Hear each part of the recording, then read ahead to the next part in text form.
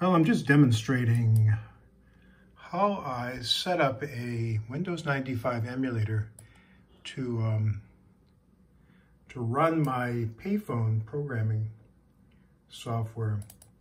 And what I did is I used a program called Oracle VM VirtualBox, and I set up a Windows 95 virtual environment. And I had an old, actually I had an old CD uh, Windows 95 installation CD that I had to use because it didn't come with uh, didn't come with the operating system. So I had a few patches I had to put in place, and it's doing that goofy Windows 95 enter network password thing. I forgot how to get rid of that. But anyway, we'll get rid of it. And that is a sound I haven't heard for quite a while. So the goal is to program this um, Ernest Telecom COCOT, which I have, and I have all the programming manuals for it. I've got the, uh, the up, two upper housing keys, two coin box keys, and I've got um, the T key that came with it. And uh, it did not come with it, but a really great option is this uh, 16 by 2 line LCD display. And it uses the standard parallel port uh, interface, 4-bit. Uh, there's actually a 4 and 8-bit mode on it. You can see the pins on the bottom there. Uh, but I uh, wired in a cable, sorry, on the top there. I wired in a cable that uh, connects to a um, LCD connector here. And what Ernest did, and this is kind of a pattern in a lot of their code, they've wired up things backwards, and uh, sometimes their code has numbers that are backwards. So it seemed to be the preferable mode of one of their, or their design engineers to uh, basically security through obscurity. But anyway, uh, I basically had to put this ribbon cable in backwards to get the pins on the top to flip left to right, and then it all worked fine. So um, you can see when I pick it up, it just kind of gives me normal prompts. Um, so I can dial like Project MF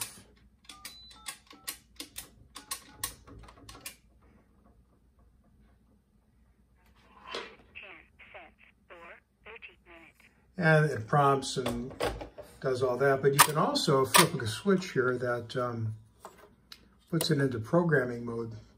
So when I go off hook, I get into program mode and I can do things like, um, I know the number from the manual of the programming option, I can display the, this is the inbound and outbound rings, and then the polling window, which eliminates the inbound ring delay during the uh, polling window time to minimize the uh, call center's um, uh, dwell time on each individual phone. So that's handy, and that's how I normally program it, but I got the desire to be able to use the programming software again. Unfortunately, it's a 16-bit program which will not run on, um, on Windows 10 64-bit or any 64-bit operating system uh, Microsoft uh, dropped support for 16-bit programs on their 64-bit OSs because, um, not because they had to, but, well, not because they wanted to, but rather it's a technical restriction, which I won't get into on, on how this all works. So anyway, I did get Windows 95 up and um, using a, uh, a there's no way to really communicate between the virtual machine and Windows 10. So what I had to do is for any file I needed to transfer to the Windows 95 VM, I needed to um, burn the file onto a CD ISO image, which I could then mount as a virtual uh, CD drive here through the control panel on the um, on the Oracle thing. And then I was able to read it. So I was able to get files into the system. Getting them out, I have to use a virtual floppy drive, which is very limiting. But anyway, uh, I guess I could do it with networking, but I wasn't able to get it to work because of some Samba incompatibilities between the old Windows 95 and the more secure version on Windows 10. So anyway, all sorts of issues. But anyway, bottom line is I got it working. So um, very strange to be working in Windows 95 after all this time but I can start up the program, which is called Telelink. Um, and it communicates via the virtual serial port in the VM with the physical serial port um, on the Windows 10 machine, which is actually a USB to RS-232 adapter plugged into the back of the computer. And that talks to this um, modem here. And believe it or not, it actually works. It will actually communicate uh, as though it's a local serial port on a window on Windows 95 hardware, which is pretty amazing. So Telelink is the um, is the uh, the Ernest Telecom software, and here's the setup. And you can see for different phone models, I have the D3. That's the payphone model. They've got some initialization strings here that I needed to significantly modify. I could not get this thing to dial out or even recognize the modem initially. Initially, this uh, expected to see a 1200 baud Hayes Smartmodem, and I needed to set these up to emulate pretty much the behavior of a Hayes modem, and that meant changing the response strings, the way uh, the DTR signal worked, a whole bunch of other oddball things, how the speakers were turned on. Hayes used a uh, F command and Multitech, the, who make the modem I'm using, use an M command instead. So all this uh, took a lot of figuring out, but it does work amazingly. So um, what really helped is I had a monitor program that the maker of the USB to serial port adapter made that allowed me in Windows 10 to watch the conversation between this software and the payphone and could actually see what was transpiring between them. So that was kind of cool. So the way this works is you go to this direct mode, and these are the various things you can upload and download into the phone. So AOS scripts are some operator, uh, third-party operator scripts that tell the phone how to call third-party operator services for, uh, you know, more money, basically. Uh, collection status tells you how much money is in the coin boxes and so forth. Uh, CSN table is the rate table, uh, which is a binary. I can upload it and download it, but I can't read it. It's uh, unreadable and it doesn't really have an interpreter. The programmable features allow you to upload basically the entire feature set of the phone. This is probably the, the most usable one. Uh, here's rate table. Actually, I got that confused with CSN. I forget what this is, but I think it's a scripting language that allows you to override the rate table for specific telephone numbers and area codes and exchanges. SMDR is just the um, call log information on outgoing calls from the phone. Uh, there's 10 speed dials that you can configure. You can do time and date. There's a scrolling message display, but my model of phone, even with that LCD display, does not support it, and I've got a phone call here. Okay, we are back from my phone call. Sorry about that. So what we're going to do is initiate a call to the um, modem and retrieve all of the programmable, well, tell you what, let's do the, uh, let's do the collection status. That'll tell us what's in the coin box. So you can see all the fields are blank, but here's the phone number, the uh, ID number of the phone, a six-digit number, date, uh, what's in the coin box, how much uh, the phone over the life of the phone is collected, uh, how much was collected for operator assisted calls. It breaks it down into various categories here, kind of useful. So this allows retrieving that remotely from the phone. Otherwise, you'd have to open the upper housing and punch all these things in manually, which you could do, but it's not very convenient. So uh, what we do is we go up to the transfer menu, we select upload. That brings up a window that allows us to enter the telephone number of the phone. So I have this connected uh, via SIP over ULAW, which is uncompressed 8-bit um, PCM audio in both directions. Works quite well at 1200 baud. I've had no problems at all. So I'm going to put in a dummy number I have set up that routes from the modem to the um, to the payphone.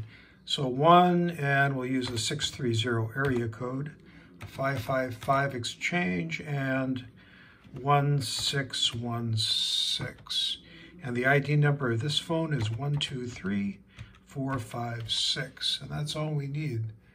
Uh, the type is it's a D3 slash ETX circuit board in the phone, so that I have the D3, and we'll hit OK. So uh, right now, I have the speaker muted for this portion of it, but it should pick up and dial. There it goes.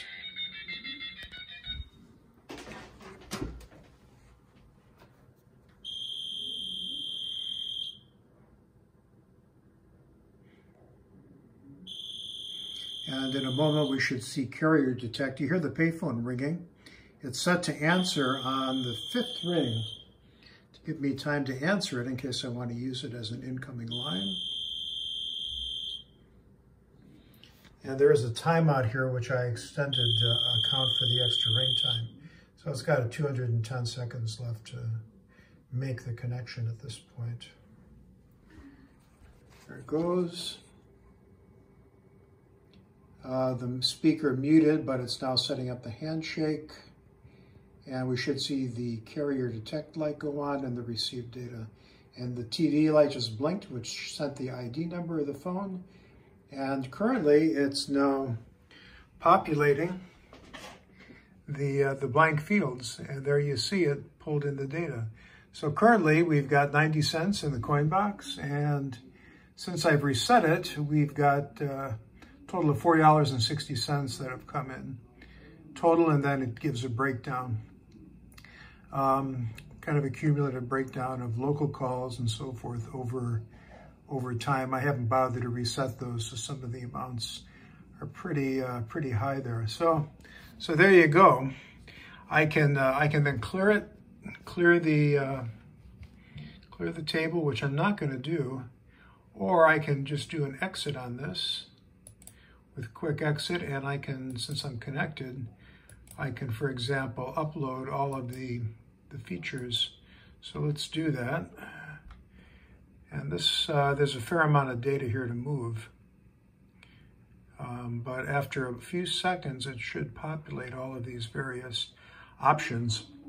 And the nice thing about the software is it knows the options that are supported. So here you can see uh, a few of the options, the ID number of the phone, which I mentioned, um, and other numbers that are called for directory assistance, here I redirect 555-1212 to 411, for example. And I have callback uh, methods disabled basically here. And there's several pages of this, so you can see all the various rate overrides, the coin box totals, um, various other bits.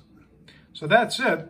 And uh, when this is happening, of course, the phone itself receiver is completely dead, although you can hear very faintly in the background through some kind of crosstalk a, um, some of the modem tones. The um, It's interesting, the LCD display says temporarily out of order, so it's clear, and there it just hung up from inactivity. It has a fairly short timeout. But it's interesting it puts that up there because it, apparently it's meant to be on the outside of the phone when not in programming mode. So my phone doesn't do that, but um, apparently that LCD was used for an external display. In fact, I've got some vacuum fluorescent displays that are in the same format of that that would give a nice illuminated display. So I've toyed with the idea of putting a box on the outside that would be kind of interesting. But anyway, future project. Uh, so we've actually hung up this point. However, I can save all this data to a, a uh, CSV file, a comma delimited file, or I can save it as uh, just a normal file that can be retrieved and then printed off.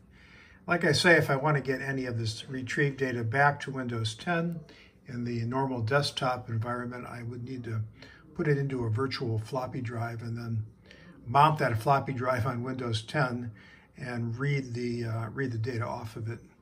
Clumsy, and, but if the files aren't too big, it, it works fairly good.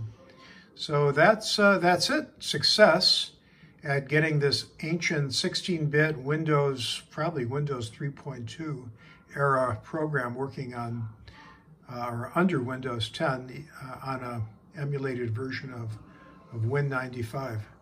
Thanks for watching.